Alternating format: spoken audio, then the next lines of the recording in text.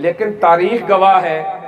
मुसलमानों के पास ताकत हो या ना हो, हर दौर में उन्होंने अल्लाह के कुरान की नामोस पर भी पैरा दिया है और नामोस रिसालत पर भी पैरा दिया है।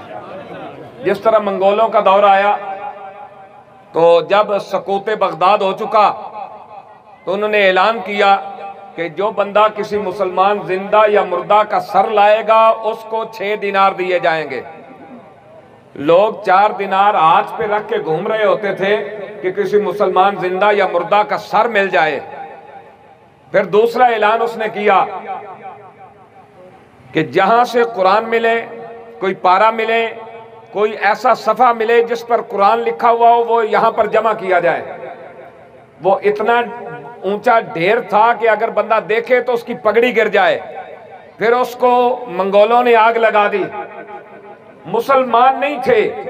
छह दीनार से भी मुसलमान ज़िंदा या मुर्दा का सर नहीं मिल रहा था। इधर कुरान जल रहे हैं, इधर सुहादा और जख्मी पड़े हैं। तो जब वो कुरान ने, करीम को उसने आग लगा दी, मुसलमानों के सरों के मीनार बना दिए तो फिर मंगोल सरदार खड़ा हुआ उसने तकरीर की कि लोग कहते थे, ये कुरान तो क्यामत तक रहेगा, इसकी हिफाजत का जिम्मा तो रब ने लिया है। अब मैंने मुसलमानों को कत्ल कर दिया, कुरान को जला दिया। अब बताओ कुरान कहाँ है? हिफाजत कौन करेगा? वो जो सुहादा थे, जो जख्मी थे, उनमें से एक नौ साल का बच्चा उठा जिसम से खून के फवारे निकल रहे हैं जिसम पर लर्जा तारी है खड़े होके कहता है सजा। वो मंगोल सरदार पूछने लगा, ये बच्चा क्या कह रहा है? तो उसे बताया गया, तू जिस कुरान को मिटाने की बात कर रहा है, ये उसी कुरान को सुना के ये पैगाम दे रहा है कि मिट गए, मिटते हैं, मिट जाएँगे आधा तेरे। न मिटा है, न मिटेगा, कभी चर्चा तेरा। और मैं आपको एक बात और बताता जाऊँ। आखिर ऐसी क्या बात है जिसकी वजह से आलम कुफर को कुरान जलाने की या हुजूर की गुस्ताखी करने की ज़रूरत होती है? आपने देखा, हुकूमत मौजूदा हो या गुजश्ता हो या गुजश्ता से पैवस्ता हो, गंजों का पिछला दौर हो या ये दौर हो या इमरान का दौर हो, कौन सा दौर ऐसा आया जिसमें कुरान को निसाब से नहीं निकाला गया? जिहाद की आयात नहीं निकाली गई, नमाज़ की आयात नहीं निकाली गई। तो इससे आलम कुफर तो दलेर हो गया कि हमारे जो चमचे हैं, वो पाकिस्तान में खुद कुरान की आयतें निकाल रहे हैं। हम जला देंगे तो क्या होगा? लेकिन ये बात मत भूलो।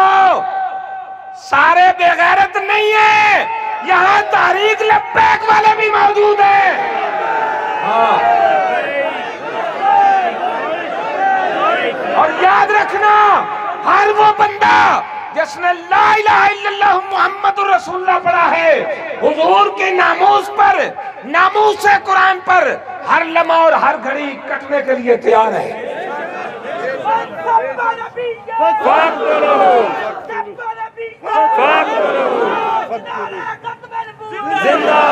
एक बात और अपने दिमाग में लिख लो। जिन्होंने कुरान को निसाब से निकाला, जिन्होंने खत्म नबुवत को असम्बलियों से निकाला जिन्होंने नामों से रिसालत के पहरेदारों पर गोलियाँ चलाई, वो फैजाबाद हो या लाहौर से वजीराबाद हो या सानह यतीम खाना हो, ऐसे गंदे अंडों को उठा के बाहर फेंकना होगा और हजूर के गुलामों को असम्बली तक पहुंचाना होगा। और मैं एक बात स्वीडन के मुसलमानों से भी करना चाहता हूँ कि हम तो यहाँ सैकड़ों पाबंदियों में जकड़े हुए हैं। वहाँ से कोई हुजूर का गुलाम उठे और कुरान की बेअदबी करने वाले को काट के रख दे, तारीख लब्बैक उसके साथ खड़ी है। अल जिहाद अल जिहाद। लब्बैक लब्बैक। ប៊ីយិនអមញ្ញសត